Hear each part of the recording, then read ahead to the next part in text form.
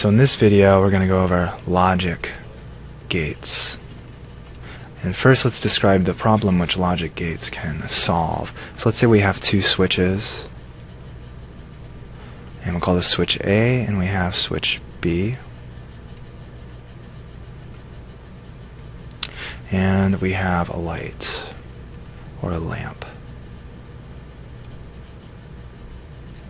And let's say if switch A and switch B are on, we want the light should be on. Alright. So we have a statement that we want to check if it's true. So I'm going to introduce something called logic gates, and the first logic gate we're going to learn about is called the AND gate. We're going to learn about four of these gates, and they all have different functions. So the AND gate, when it's drawn on paper, has this kind of oval hump. It has two inputs and an output. This is input A, B, these are inputs and output. And we describe logic gates by using a truth table. So we have A, B, output. Okay. And let's write all the possible input combinations. And the output of an AND gate is true when both A and B are true. It's going to be 1, in every other case it's 0. So if we applied 1 to A and 1 to B, we'd get an output. Any other case, let's say A is 0 and B is 0, we get no output. So this AND gate can actually be used to solve this question. If switch A and switch B are on, then turn the light on. So we could put an AND gate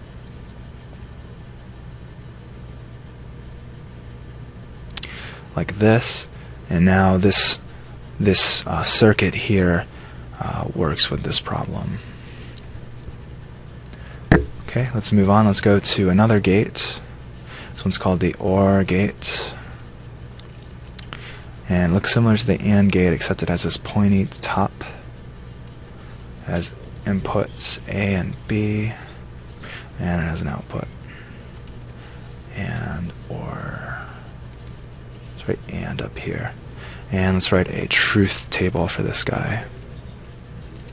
A, B, output. Okay, let's write all possible input combinations. And our output is going to be true if A or B is true. So A or B is false in both these cases, both 0. B is 1 here, A is 1 here, and then they're both true here, so that's also true. Alright. Let's talk about another gate. This one's called the NOT gate. It's probably the simplest of all of them. It only has one input and one output. And let's write a truth table for this. Say A output.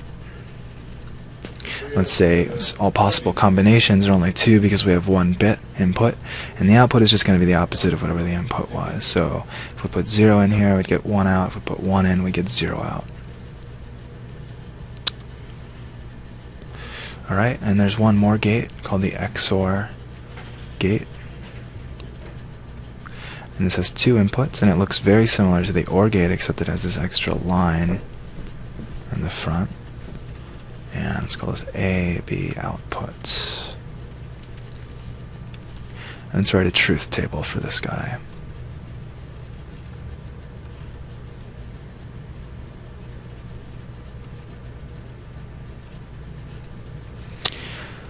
All possible input combinations 0, 0, 1, 0, 1, 1. And this is called the XOR or exclusive OR. And what that means, it can be either or, A or B, but it can't be both A and B. So in this case where it's 1 and 1, we're going to end up with 0. 1 and 0 is going to be 1, 0 and 1 since B is true. And 0 and 0, neither is true, so it's 0. Alright? So let's write down everything, every gate we've learned. We have the AND gate, the OR gate, the NOT gate, and the XOR.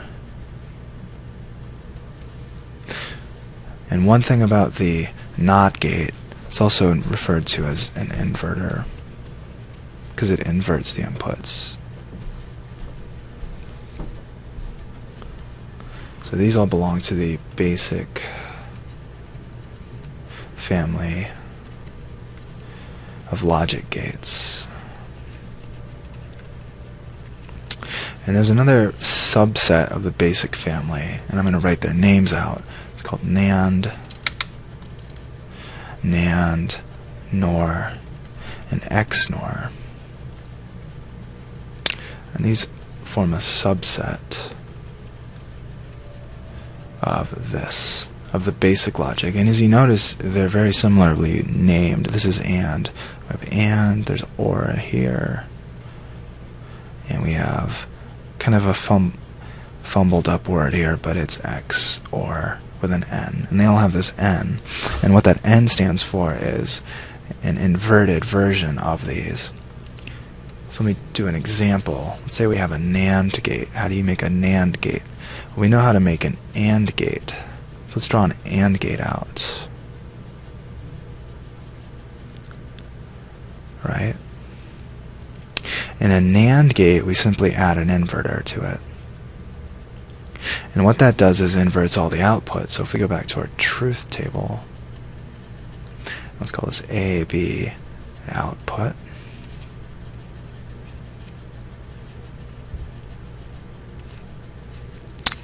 All possible combinations.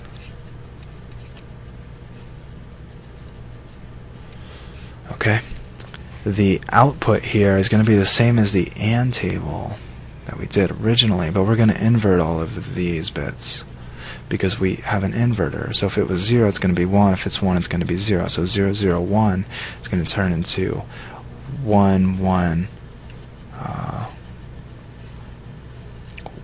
one one one zero.